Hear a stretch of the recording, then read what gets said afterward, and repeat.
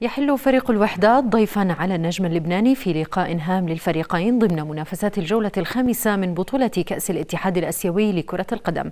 تفاصيل أوفى في التقرير التالي.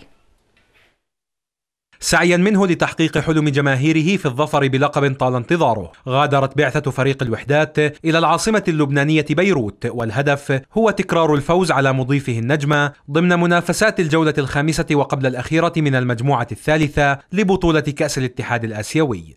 العراقي عدنان حمد مدرب الوحدات يريد العودة إلى عمان بنتيجة إيجابية تبقي سجل الفريق خاليا من الهزائم حتى الآن والمضي قدما في البطولة. الوحدات سيدخل اللقب باحثا عن تعويض تعادله في الجولة الماضية أمام صحم العماني بهدف لكل فريق.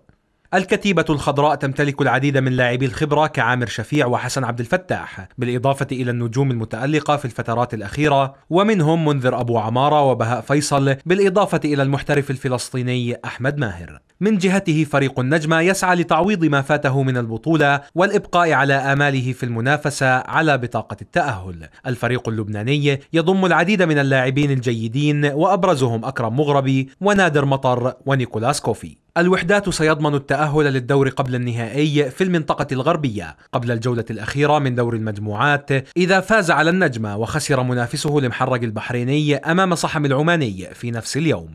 حيث ينفرد الوحدات بصدارة المجموعة بثمانية نقاط من أربع مباريات يليه المحرق بسبع نقاط ويحتل صحم المركز الثالث بأربع نقاط بينما يقبع النجمة في المركز الرابع بثلاث نقاط.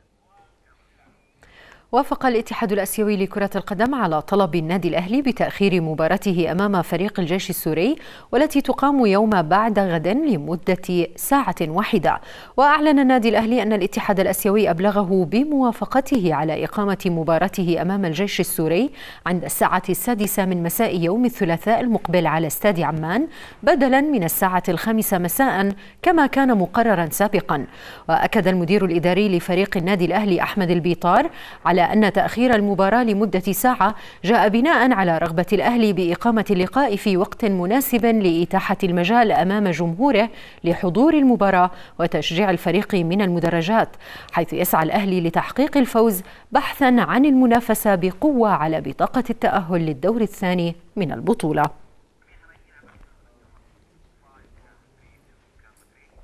استمر برشلونة بملاحقة متصدر الدوري الإسباني بعدما فاز على ضيفه ريال سوسيداد بثلاثة أهداف مقابل هدفين.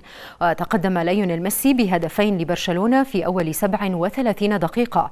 وقلص المدافع سامويل أومتيتي الفارق بالتسجيل في مرماه بالدقيقة الثالثة والأربعين.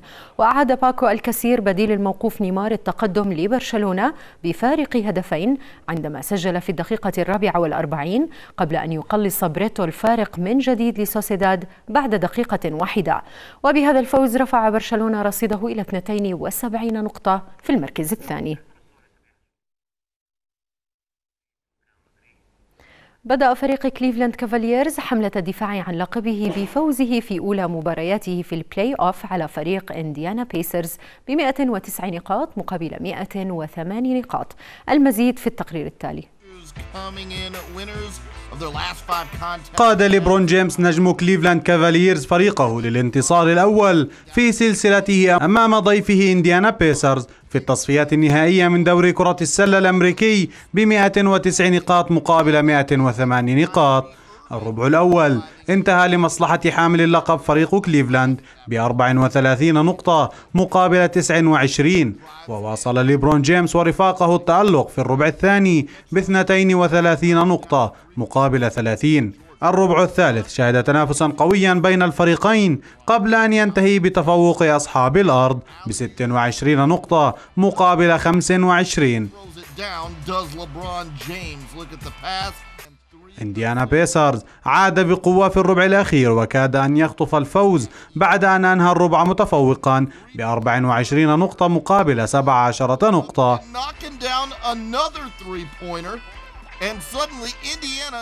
ليبرون جيمس. كان نجم المباراة الأول بتسجيل 32 نقطة و13 تمريرة حاسمة فيما أضاف كيري إيرفينغ 23 نقطة أخرى. على الجانب الآخر كان بول جورج الأفضل في فريق إنديانا بتسجيله 29 نقطة. From way outside, and early on, the younger Gasol.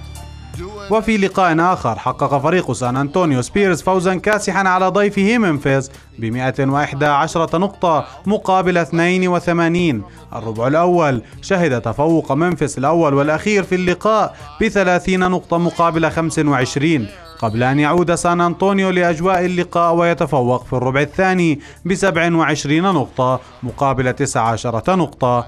الربع الثالث. واصل فيه نجوم سان أنطونيو التألق وأنهوا الربع ب 32 نقطة مقابل 15 نقطة.